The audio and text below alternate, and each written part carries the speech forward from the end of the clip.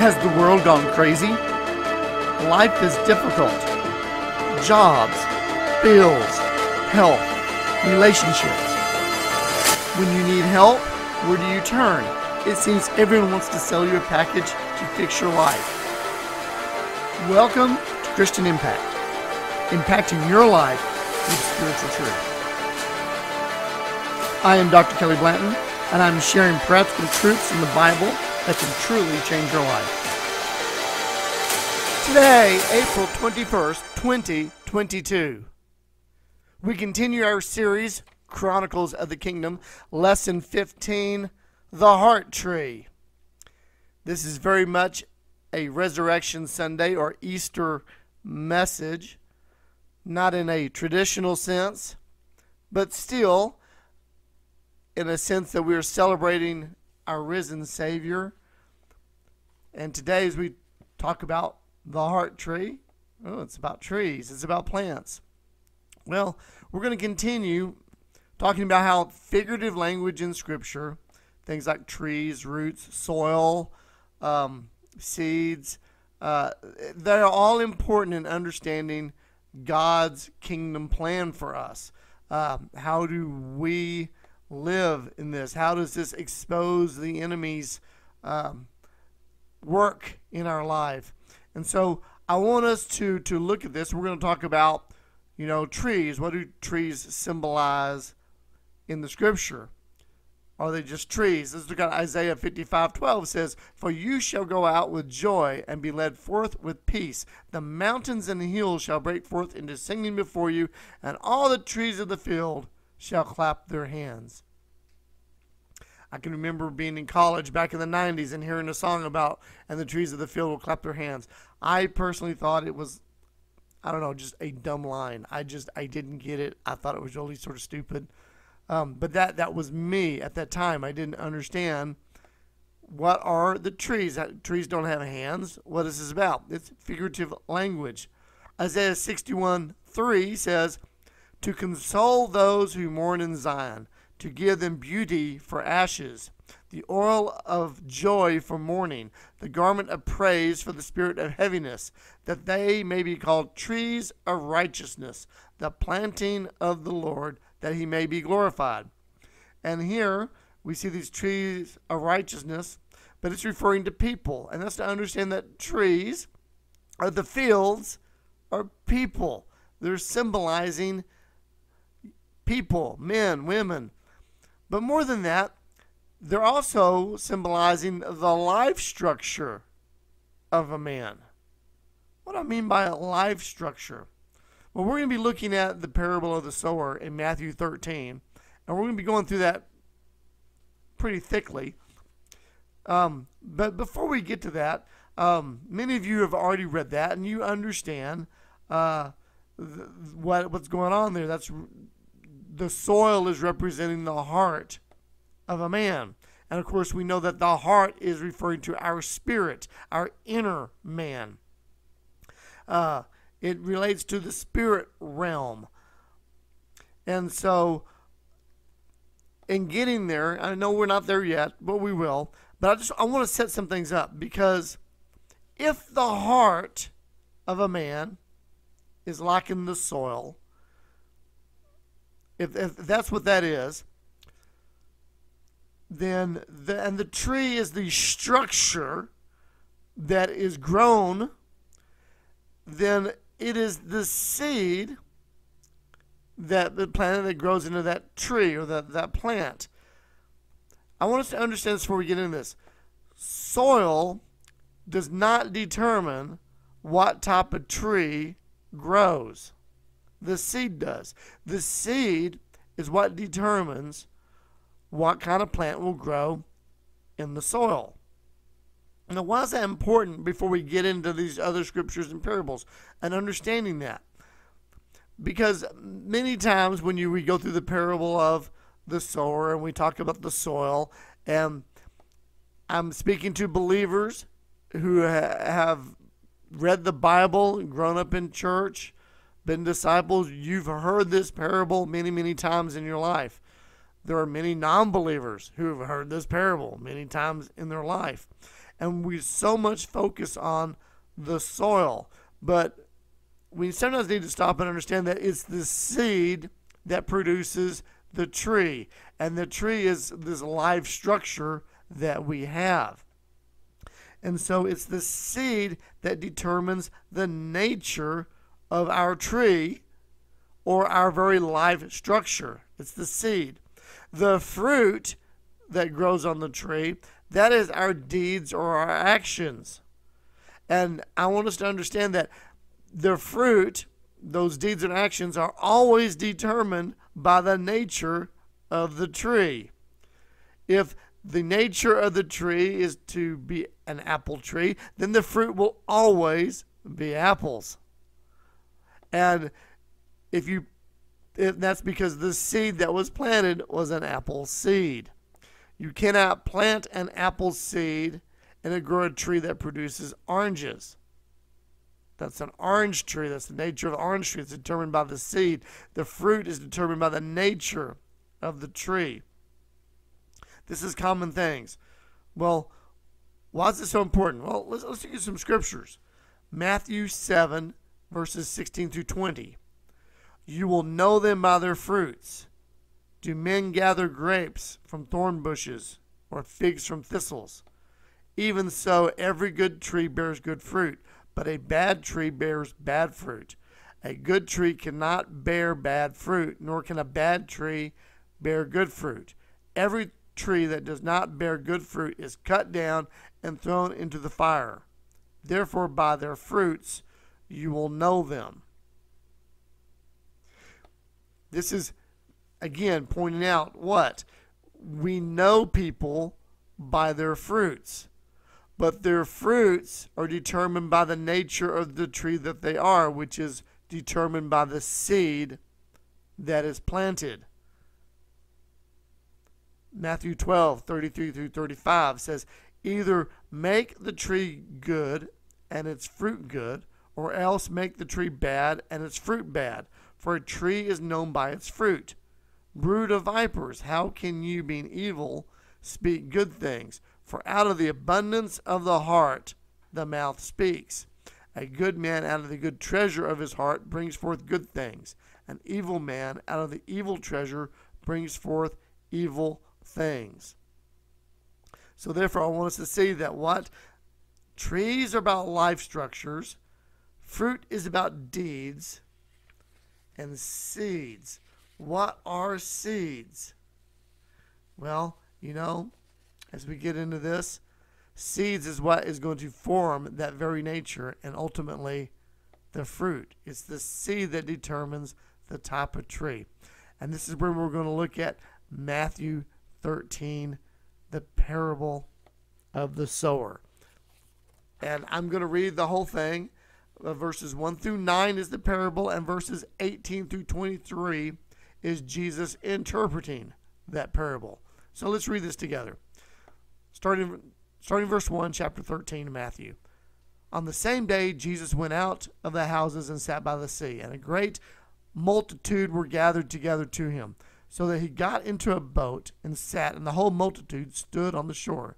Then he spoke many things to them in parables, saying, Behold, a sower went out to sow, and as he sowed, some seed fell by the wayside, and the birds came and devoured them.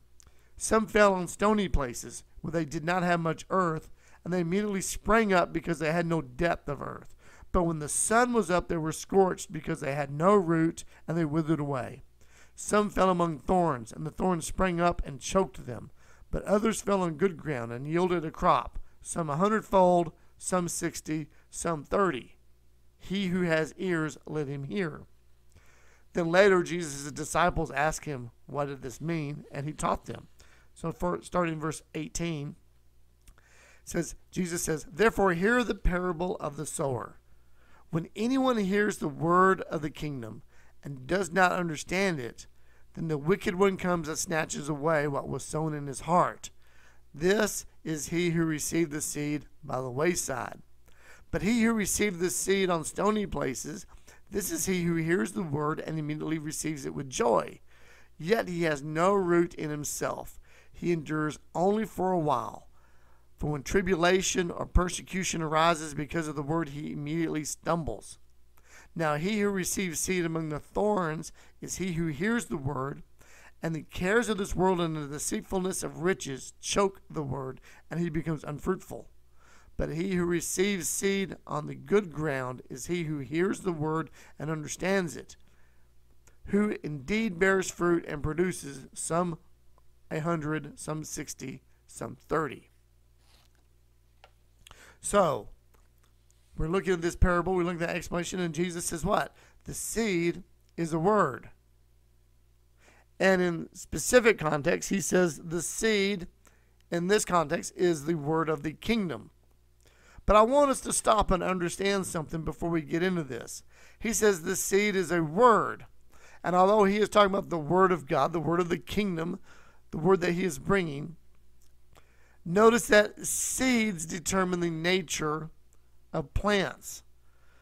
If you want the patterns of your life to be kingdom focused, if you want to be kingdom minded, if you want to operate in God's kingdom, if you want to function in this, then you need to receive the word of the kingdom. You need to receive the words of Jesus, the word of God. But I want us to understand there's more than just one kind of seed in life. Matter of fact, Scripture says there are two kinds of trees, therefore, two kinds of seeds. If you go back to Genesis, chapters 1, 2, and 3, in reference, I'm not going to read those. We have been through those. But we have talked about what? The tree of life, whose seeds would bear the word of the kingdom, life eternal.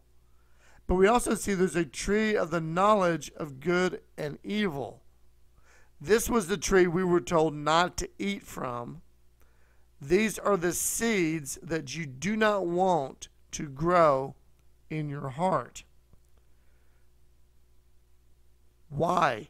Because the seeds of the tree of knowledge of good and evil only produce the fruit of death. They only produce death. It's sin. And the life structure that we end up growing is a sinful life structure. They're bad seeds. You know, and we've seen what bad seeds produce. And we all have to deal with it. You know, uh, you know, bad seeds produce ungodly heritage. What do I mean by that? An ungodly heritage. I'm not talking about bad parenting. I'm talking about being born with sin nature. Romans 5:19. Therefore, just as through one man sin entered the world, and death through sin, and thus death spread to all men because all have sinned. Uh, you know, it's been passed down as a heritage. Psalm 51:5. Behold, I was brought forth in iniquity, and in sin my mother conceived me. That doesn't mean that sex is sin. What it means is that we were conceived, we're born in sin. It's it's there. We can't get away from that. It's a bad seed. Another type of bad seed um, is the typical ungodly experiences.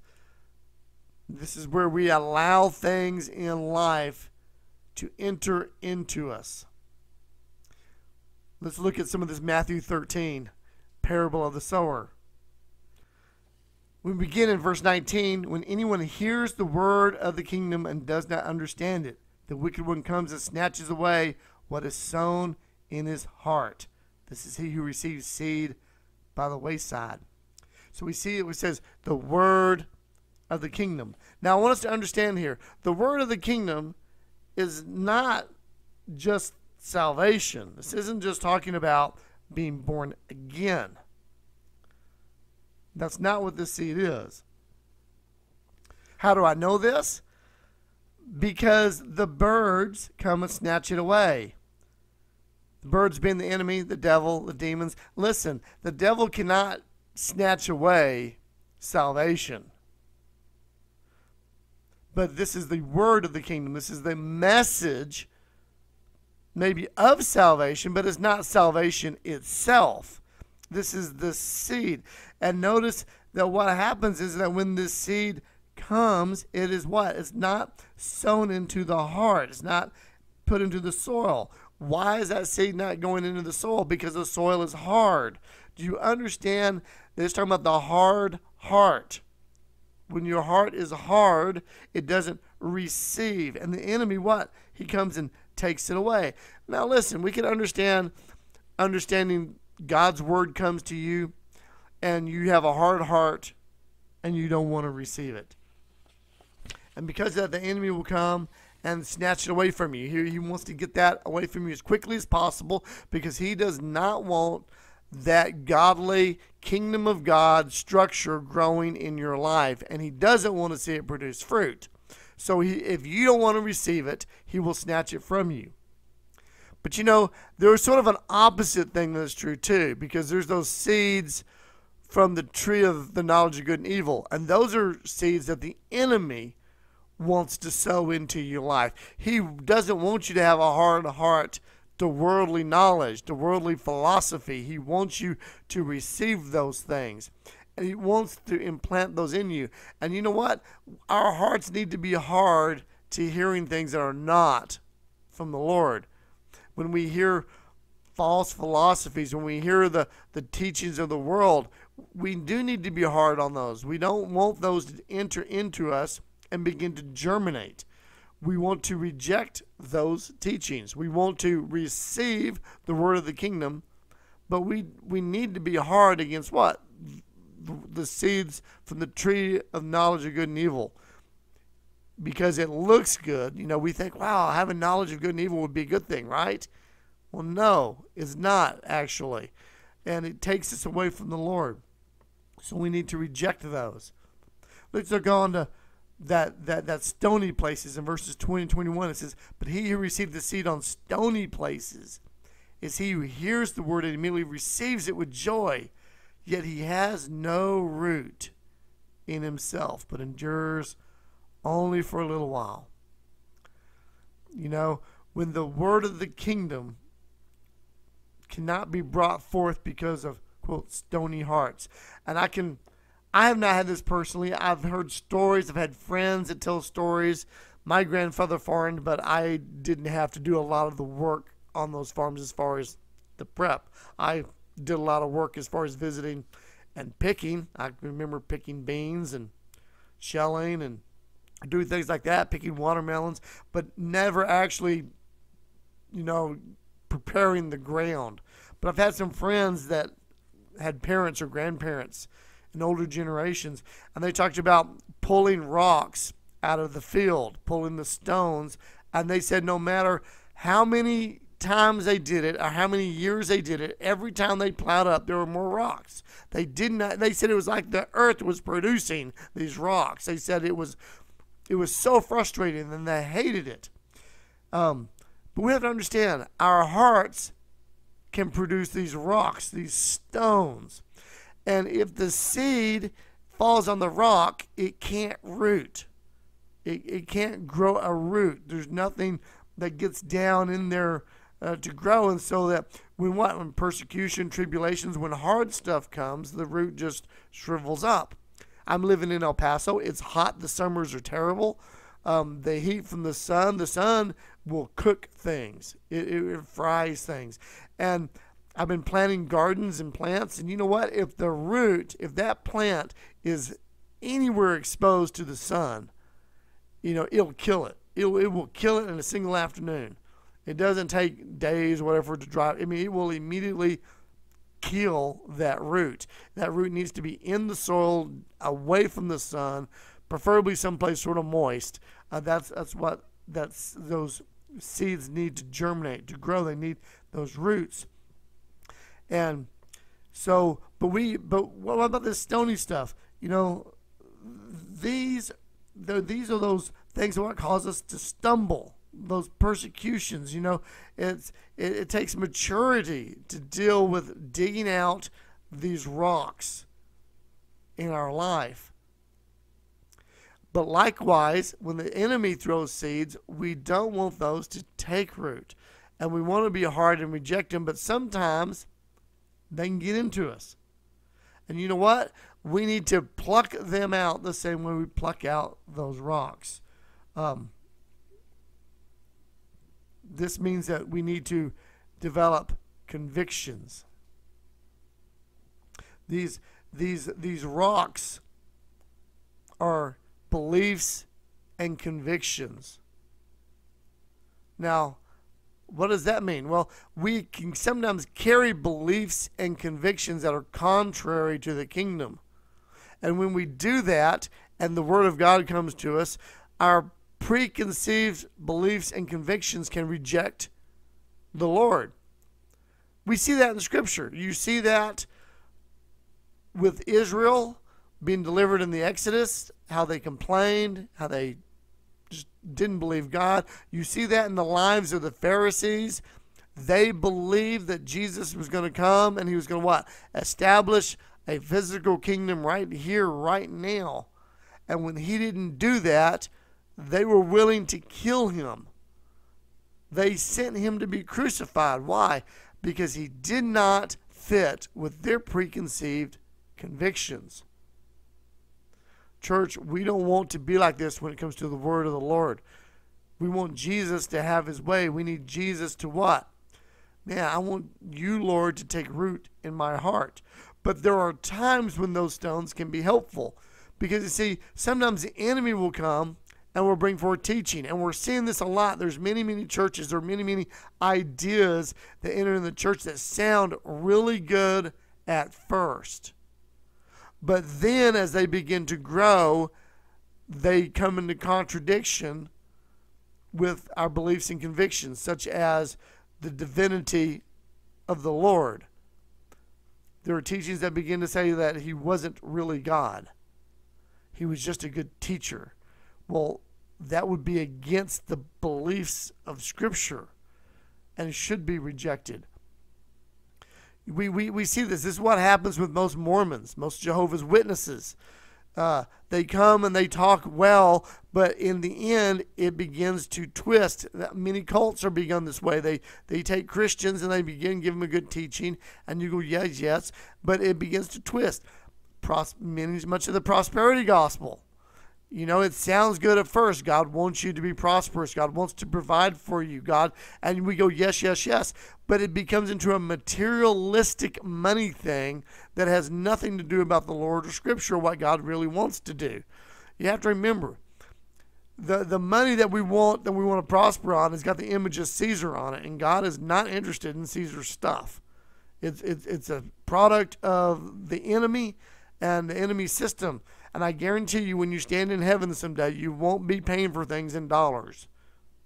A matter of fact, you won't be paying for things in gold. How do I know this? Well, he says the Bible says the, the streets are paved with gold, right? Well, yes. How much do you want asphalt? How many of you are fighting to get some asphalt? Please pay me in some asphalt. No, you walk on it. It's dirt. Do you understand that the gold that we value today here in the physical realm is like dirt that you walk on in the kingdom. The things that we value here is like dirt in the kingdom. Why? Because the kingdom is so much better than gold. It is so much better than these things. And so we need to have the convictions to follow the Lord, and we also need to have convictions to throw out this other seed that could enter into our heart and could grow into something sinful.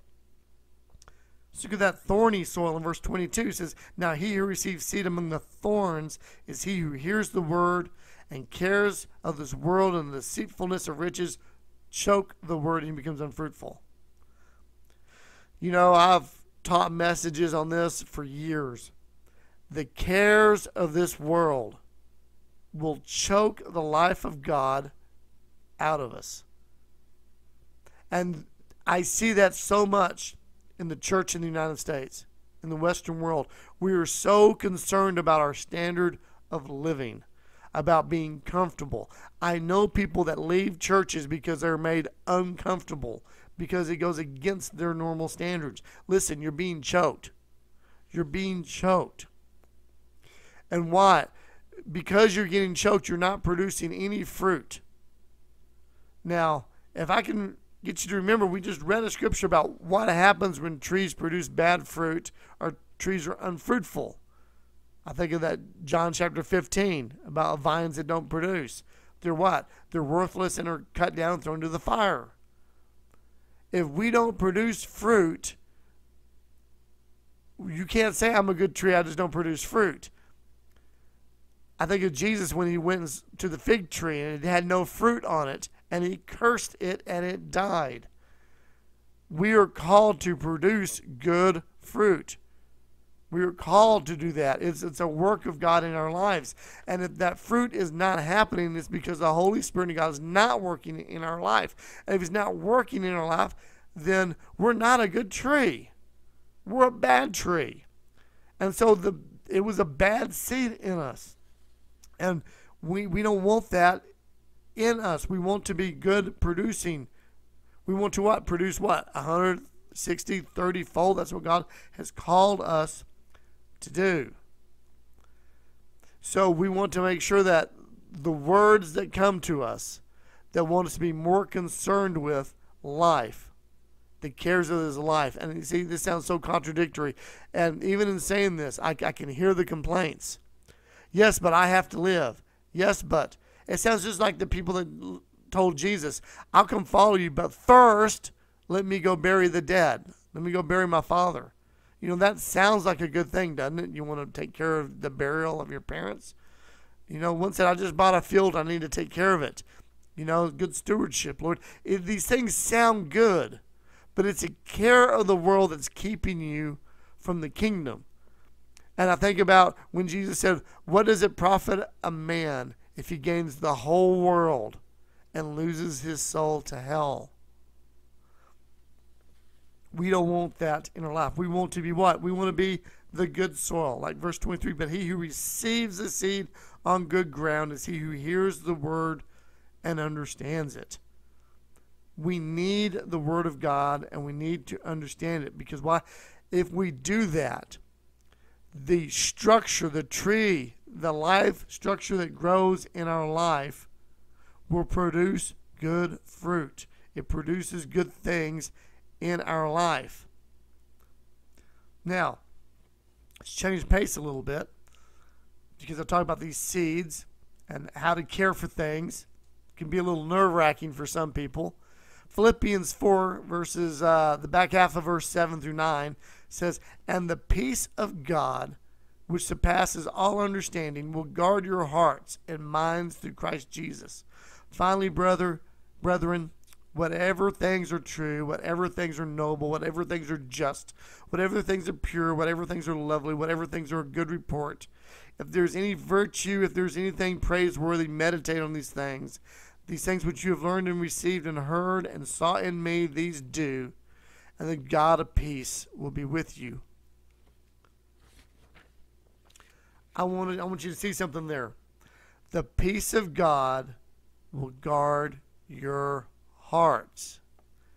Now we can get to the guard our minds because this is what we think about things, but the peace of God guards our hearts, our spirit. The peace of God. Jesus is the Prince of Peace. And he guards us. He guards us. And because of that, finally, brethren, whatever things are true, whatever things are noble, what, all these whatever things are they or what? These are things that we do. Things we do. These are fruit.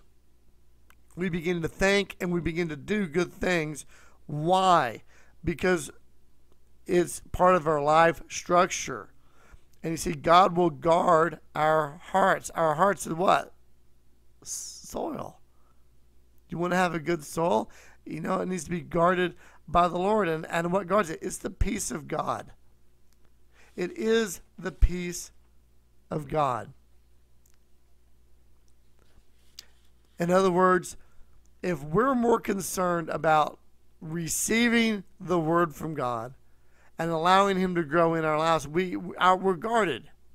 We're guarded. We don't have to worry about these these these things that will come in because we know that Jesus Christ Himself is guarding our hearts. And He frees us to live life. Proverbs 23 7 says, For as he thinks in his heart, so he is. You know, so as I think on these things, what these things that God has given us, the Word of God, things that are pure, things that are noble, you know, as we do these things, the life structure of the kingdom is built in us and it will produce fruit. Likewise, if you receive bad seed, then what happens is you be, you begin to think and dwell upon this sinful life structure.